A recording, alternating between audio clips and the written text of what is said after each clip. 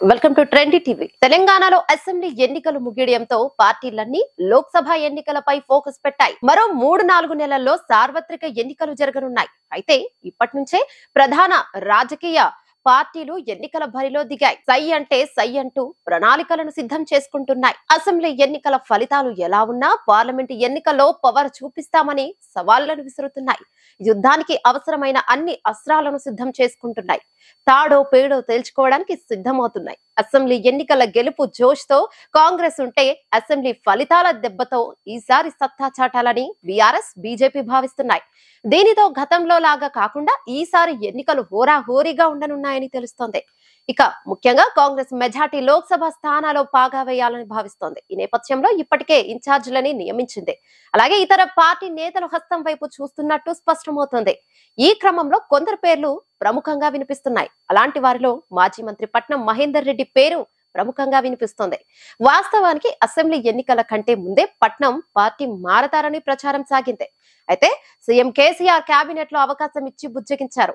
ఎన్నికల మూడు నెలల ముందు అయిష్టంగానే మంత్రి పదవి తీసుకున్నారు. వాస్తవానికి తాండూరు నుంచి ఎమ్మెల్యేగా పోటీ చేయాలనేది మహేందర్ రెడ్డి కోరిక. పంతొమ్మిది వందల తొంభై నాలుగు నుంచి రెండు వేల తొమ్మిది వరకు మధ్యలో ఒకసారి మినహా టీడీపీ క్యాండిడేట్గా వరుసగా తాండూరు నుంచి మహేందర్ రెడ్డి గెలిచారు.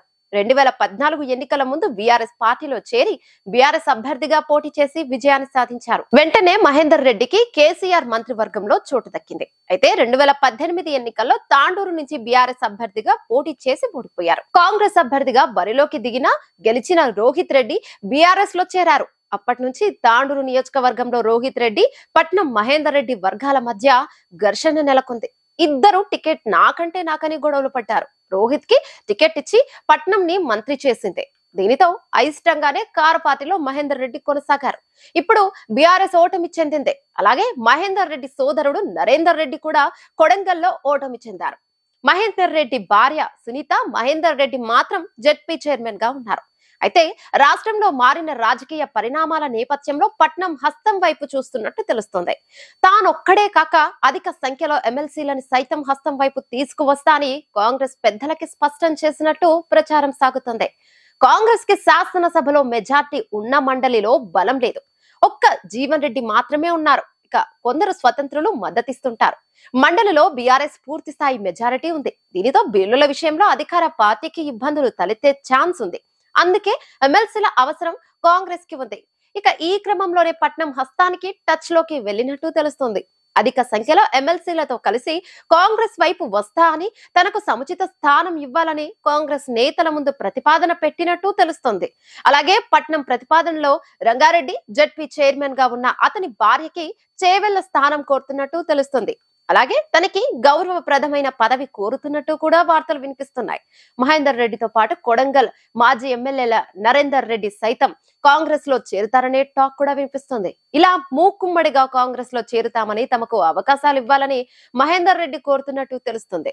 అయితే వీటికి కాంగ్రెస్ నుంచి ఇంకా ఆమోదం రాలేదని టాక్. పట్నం గతంలో రేవంత్ పై తీవ్ర విమర్శలు చేశారు. కొడంగల్లో రేవంత్ను ఓడించడానికి ఎన్నో ప్రయత్నాలు కూడా చేశారు. అలాంటి పట్నం నరేందర్ ఇప్పుడు హస్తం వైపు చేశారన్న టాక్ రావడం రాజకీయ వర్గాల్లో హాట్ టాపిక్గా మారింది. సుదీర్ఘ కాలం టీడీపీలో ఎన్నో అవకాశాలు అందుకున్న మహేందర్ రెడ్డి తెలంగాణ రావడంతోనే టిఆర్ఎస్లో చేరారు. ఇప్పుడు కాంగ్రెస్ అధికారంలోకి రావడంతో ఆ పార్టీలో చేరాలని భావించడంతో ప్రజల్లో భిన్నమైన చర్చలు సాగుతున్నాయి. ఇక ఎవరైనా పార్టీ మారే ఉద్దేశంలో ఉంటే చివరి క్షణం వరకు వారిని భరించాల్సిన పని లేదని కేసీఆర్ కూడా ఓ అంచనాకు వస్తున్నారని టాక్. అయితే పట్నం నరేందర్ వ్యూహం ఏంటి? కాంగ్రెస్ వైపే వెళ్ళే ప్రయత్నాలు చేస్తున్నారా? అనే చర్చ రాజకీయ వర్గాల్లో సాగుతుంది. రాజకీయాల్లో ఏదైనా జరిగే ఛాన్స్ ఉంటుంది. కాబట్టి పట్నం కేంద్రంగా సాగుతున్న ఈ చర్చలు కార్యరూపం దాల్చుతాయా లేదా అనేది క్లారిటీ రావాల్సి ఉంది. ఈ వీడియో మీకు నచ్చినట్టయితే లైక్ చేయండి షేర్ చేయండి కమెంట్ చేయండి సబ్స్క్రైబ్ చేయండి.